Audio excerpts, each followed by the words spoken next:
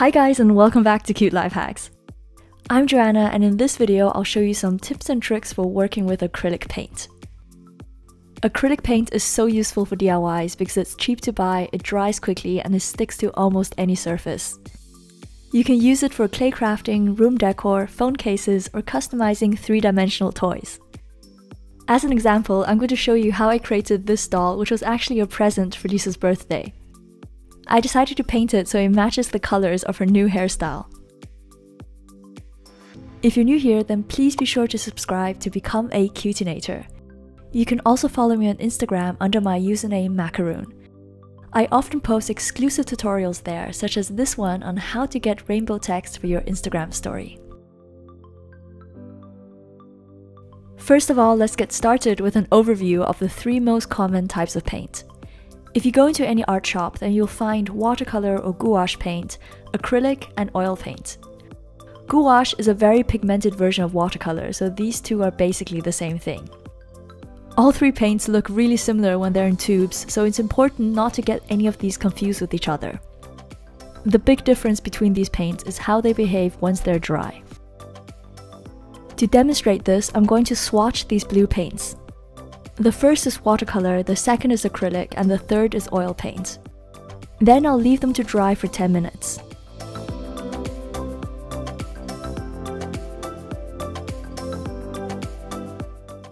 Now I'm going to go over them using another brush dipped in plain water. As you can see, watercolor pigments are not waterproof and they will always dissolve upon contact with moisture. This is definitely not ideal for DIY projects because you don't want the color rubbing off every time you touch it. Now let's do the same experiment using acrylic paint. This time the paint is completely waterproof. Acrylic paint also dries very quickly, which is great for DIYs because it means you don't have to wait a long time before moving on to the next step. And now let's take a look at oil paint. This is extremely unsuitable for any type of DIY work, so I would recommend staying away from it completely. Oil paint takes days to dry and it doesn't mix well with a lot of materials. It's also very difficult to clean up and you have to use special solvents like turpentine instead of soap and water. So in a nutshell, watercolor and oil paint are best used for pure fine art painting. Acrylic paint is the only one that's good for DIY and crafting projects, which is why I'm going to focus on that in the rest of this video. Most art shops sell a 10 pack of acrylic paints like this, and it's perfectly good to get started with. You can mix everything you need using these basic colors. Of course, the more you work, the more you might realize that you often use a certain color, so you can get that separately to save you time mixing the paints. In my case, I always have an olive green, turquoise, and purple paint as extras.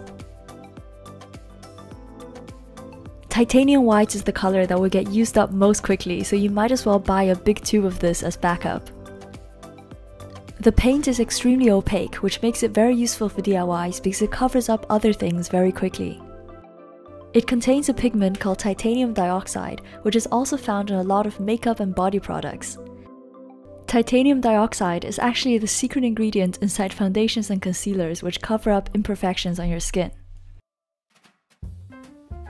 Acrylic paint has very similar properties to white glue.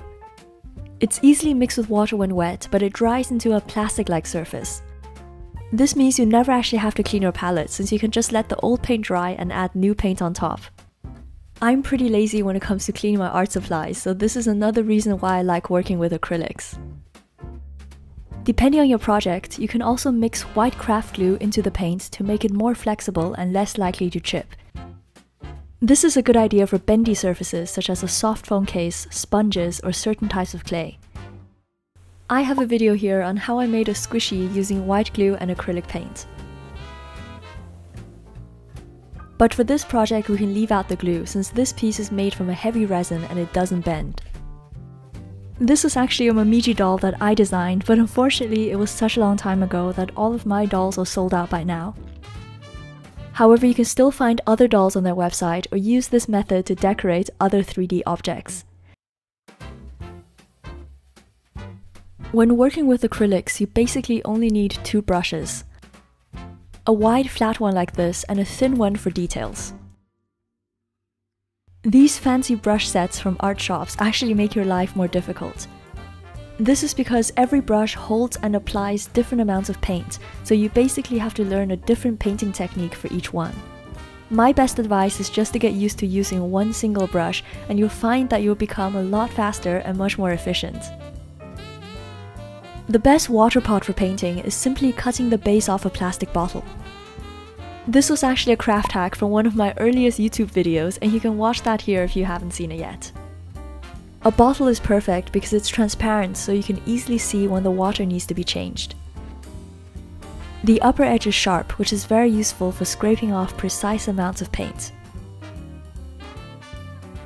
And the bottom part of the bottle normally has ridges, which helps to clean your brush a lot faster. I find it's really useful to always have a tissue in your other hand and use it to wipe your brush or clean up mistakes. This helps you work a lot faster and in many cases you want to use up a certain color before it dries. So now let's get started with our doll. If your piece already has color on it, then you want to cover that up first using a base coat. The best paint for this is, of course, titanium white. It's so opaque that it'll even cover up pure black as you can see here. For best results, you should always use two coats of acrylic paint. Think of it a bit as nail polish. The first coat usually goes on slightly streaky and the second coat makes everything look perfect. Acrylic dries quickly, so chances are the first coat will already be dry by the time you get around to doing the second. The two layer rule also applies when painting gradients.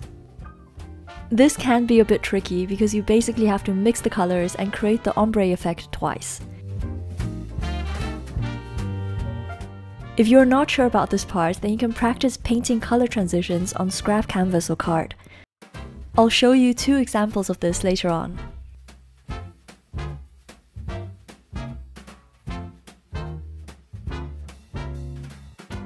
Another thing to bear in mind is that dried acrylic paint always looks slightly darker than fresh paint. So don't worry if you're painting an area the second time and you notice that the colors don't match up. As long as you didn't change the paint on your palette, then they will end up the same shade. When adding small details, you might find that it helps to dilute the paint with a tiny bit of water. Thin brushes can't hold a lot of color, so you want the paint to flow smoothly instead of smearing.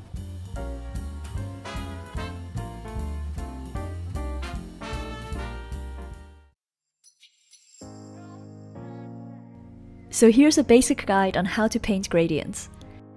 As mentioned earlier, you can practice this on scrap paper or canvas before moving on to 3D objects. First of all, take care not to load your brush with too much paint. Then swipe it across the canvas lightly to create a fuzzy edge like this. Now find the two colors you want to blend together on your palette and mix up an intermediate shade. In this case, I'm going to mix the yellow with pink to create an orangey pink. Using the same brush technique, swipe it over the first area so the colors overlap. You can see that the place where the two colors meet doesn't look perfect, which leads on to the next hack. Dilute the orange paint with some water to make it slightly translucent. Then apply this over the gradient to smooth out the transition. The water helps the paint flow into the tiny gaps on the canvas, and the translucency makes it easier to control. Now you can simply repeat this process to create an ombre effect for all kinds of colors.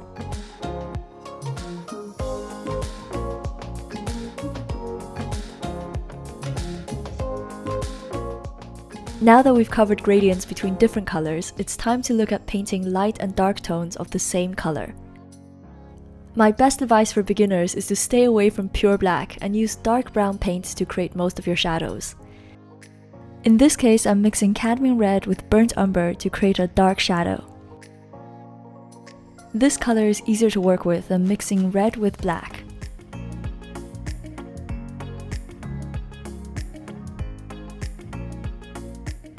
Black paint is great for creating contrast, but it can quickly overpower your painting, so you have to be careful with it.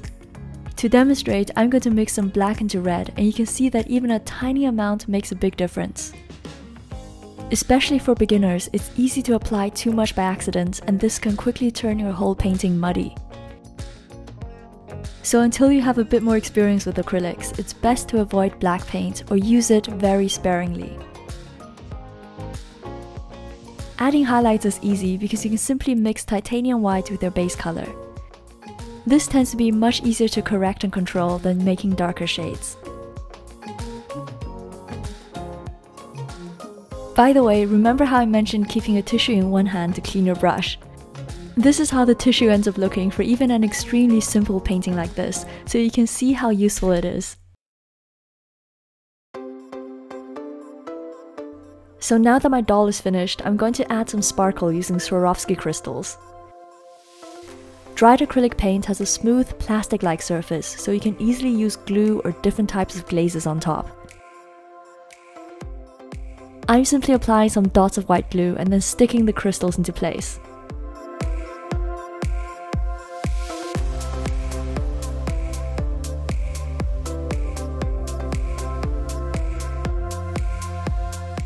And now my Lisa inspired doll is complete.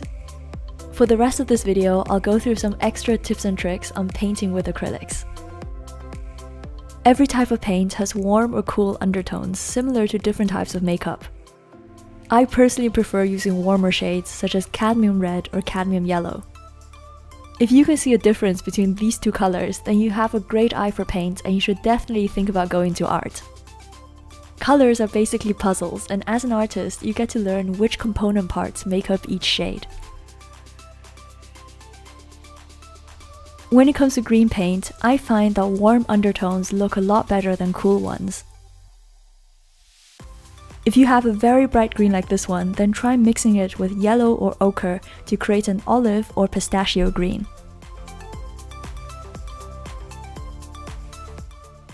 The color purple can be made by mixing red and blue, however I find that this never looks quite as vibrant.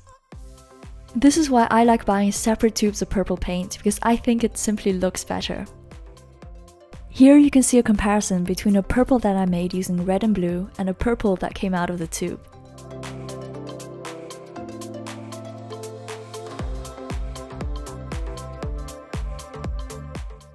The next hack is how to paint skin color.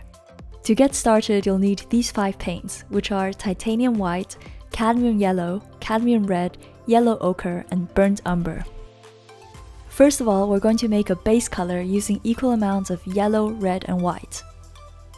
Once you have this, you can create darker skin tones by adding ochre and brown, or lighter shades using white. As you can see, the base tone we created was right in the middle, so it becomes much easier to adjust up or down.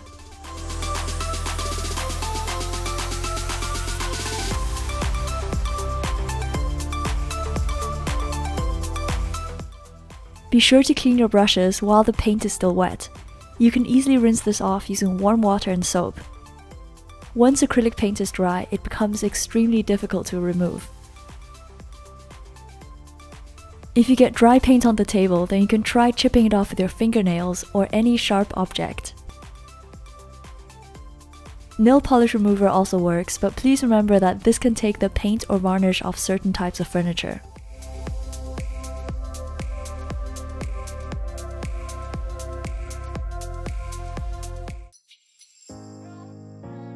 Acrylic paint is also great for coloring clay, though please remember that this only works for air dry paper or resin clay, and it doesn't work with polymer clay or muddy clay. I use paint and clay in so many tutorials and I've linked all of those down below so be sure to check them out. Acrylic paint is technically non-toxic, however the pigments from certain colors, such as everything containing cadmium, aren't good for your skin. If you're mixing paint into clay, then I recommend wearing rubber gloves to prevent anything from getting onto your hands. When I used to make jewelry, I simply mixed acrylic paint into Modena air dry resin clay. This created a beautiful texture which was ideal for miniature macaroons. Modena clay is slightly translucent, so I used lots of titanium white to make it opaque. You can find out more about this clay in many of my older videos here.